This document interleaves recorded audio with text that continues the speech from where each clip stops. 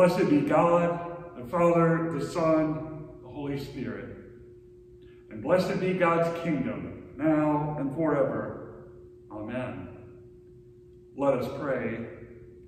Father in heaven, who at the baptism of Jesus in the river Jordan proclaimed him your beloved Son and anointed him with the Holy Spirit, grant that all who are baptized into his name may keep the covenant they have made and boldly confess him as Lord and Savior, who with you and the Holy Spirit lives and reigns one God in glory everlasting. Amen. The beginning of the good news about Jesus the Messiah, the Son of God, as it is written in Isaiah the prophet, I will send my messenger ahead of you, who will prepare your way, a voice of one calling in the wilderness, prepare the way for the Lord make straight paths for him. And so John the Baptist appeared in the wilderness, preaching a baptism of repentance for the forgiveness of sins. The whole Judean countryside and all pe the people of Jerusalem went out to him in the Jordan River. John was wore clothing made of camel hair with a leather belt around his waist, and he ate locusts and wild honey. And this was his message, After me coming the one more powerful than I, the straps of whose sandals I am not worthy to stoop down and, and untie. I baptize you with water, but he will baptize you with the Holy Spirit. At the time, Jesus came from Nazareth in, into Galilee and was baptized by John in the Jordan. Just as Jesus was coming up out of the water, he saw heaven being torn open and the Spirit descending on him like a dove. And a voice came from heaven, You are my Son, whom I love. With you I am well pleased.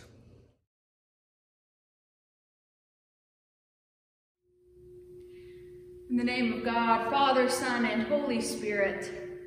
Amen. Well, this is an important Sunday in the life of the church. Not only is this the first Sunday after the Epiphany, but it is also the Sunday that commemorates the baptism of our Lord.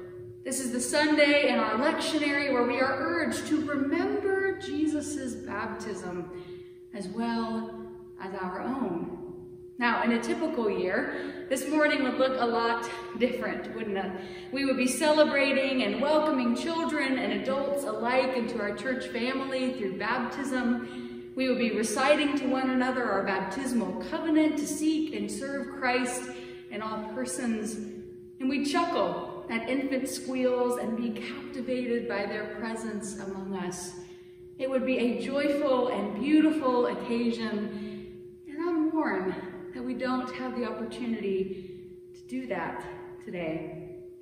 Of course, I look forward to the moment when we can all be together again to participate in this sacred practice, but I'm reminded this morning that though we are apart, it is truly our baptism that unites us into the family of God, even and especially in times like these.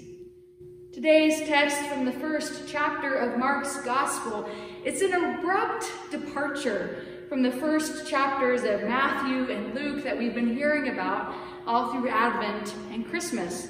See, for Mark, the beginning of Christ's life isn't at the stable. It doesn't have shepherds or wise men or a star or even a baby. For Mark, the story of the gospel begins in the wilderness with John the Baptist and Jesus standing in the River Jordan. Now, many of you already know that the Gospel of Mark is the shortest gospel, and it was also likely the first one written. See, Mark, he doesn't like to get caught up in the details. He wants to just stick to what happened.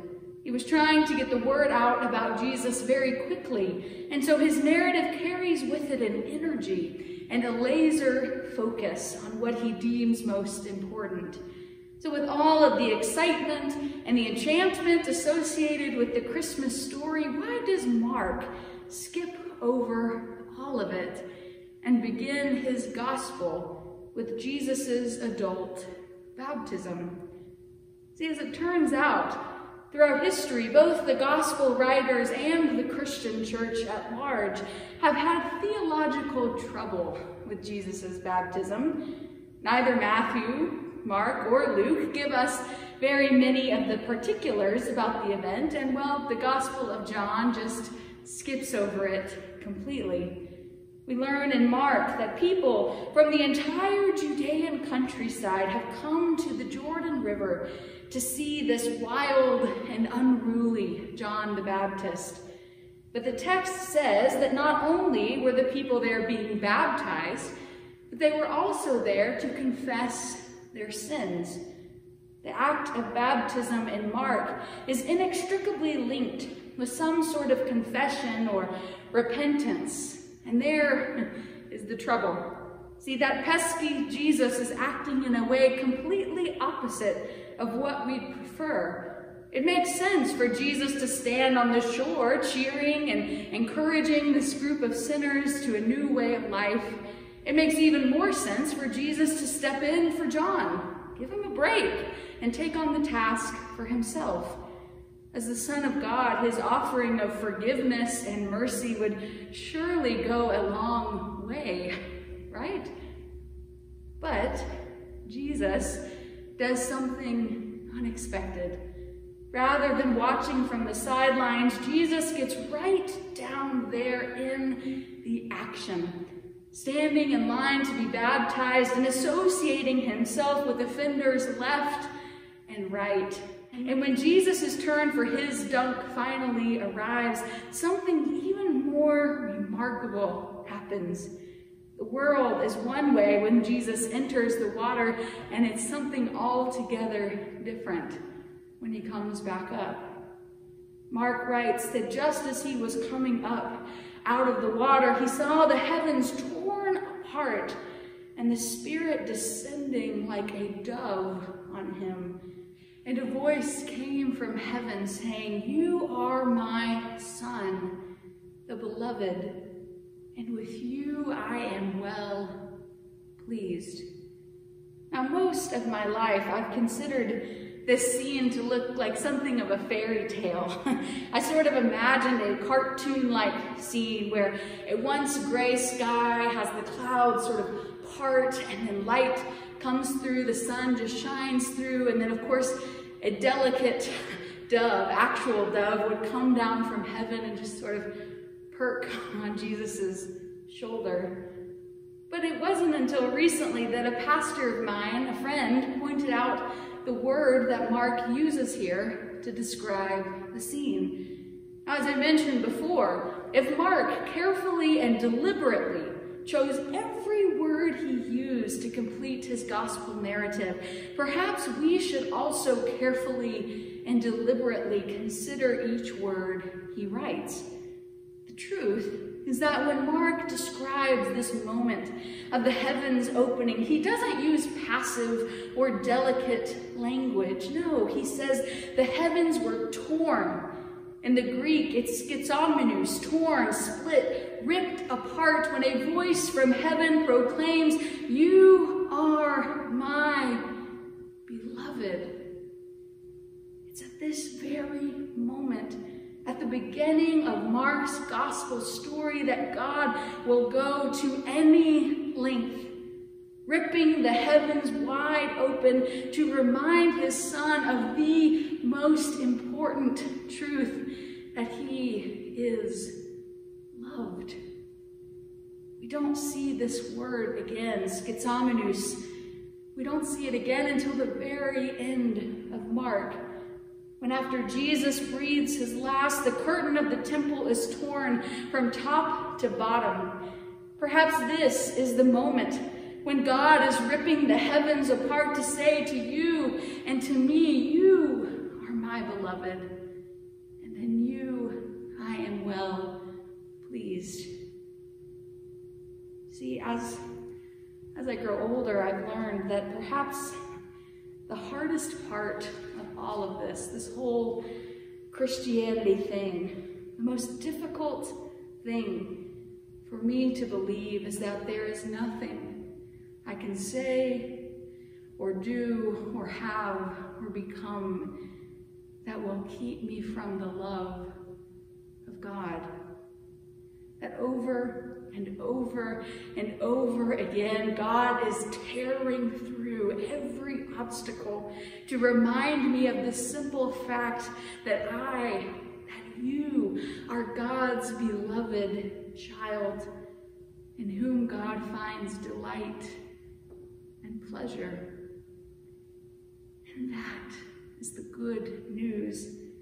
That is the truth that we can hold on to, that through the incarnation, Jesus came into this world, into the muck and the mire, associating with sinners like you and like me, to experience the fullness of humanity because of God's great and unimaginable love for us.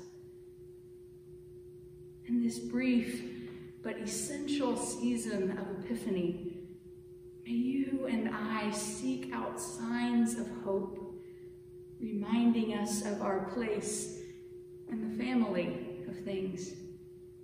May the miracle of Christmas continue to refresh us and surprise us in the days and weeks to come.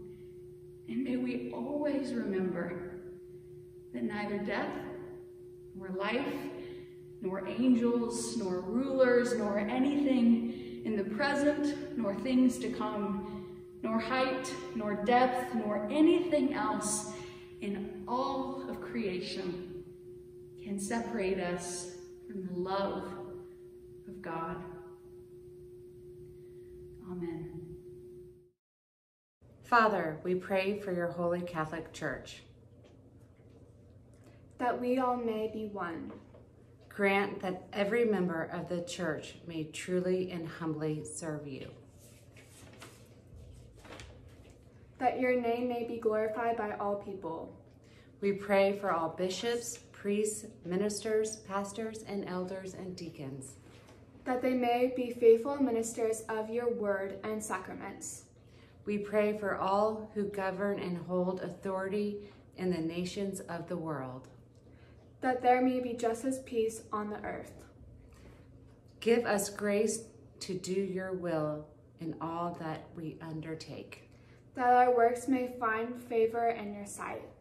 Have compassion on those who suffer from any grief or trouble that they may be delivered from their distress.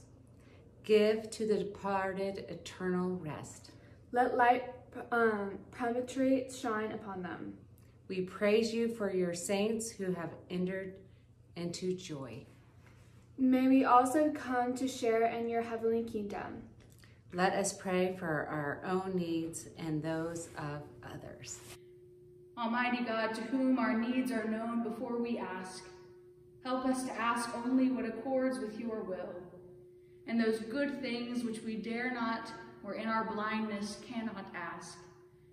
Grant us for the sake of your Son, Jesus Christ our Lord. Amen. Indian Hill Church family, uh, this morning I ask you to join me in a prayer for the human family, that our divisions may cease, that our country may heal, and that we may continue to live into our dream of being one nation under God with liberty and justice for all. This is a prayer for the human family. Oh God, you made us in your own image and redeemed us through Jesus, your Son. Look with compassion on the whole human family. Take away the arrogance and hatred which infect our hearts. Break down the walls that separate us Unite us in bonds of love and work through our struggle and confusion to accomplish your purposes on earth, that in your good time, all nations and races may serve you in harmony around your heavenly throne. Through Jesus Christ our Lord.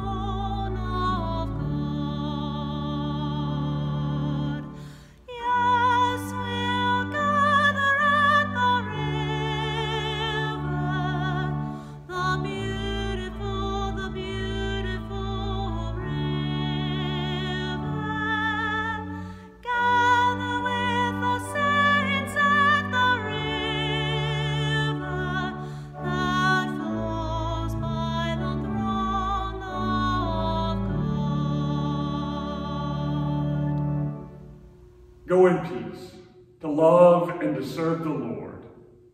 And now, may the love of God, the grace of our Lord and Savior Jesus Christ, the fellowship of the Holy Spirit be with each of us and all of us this day and forever.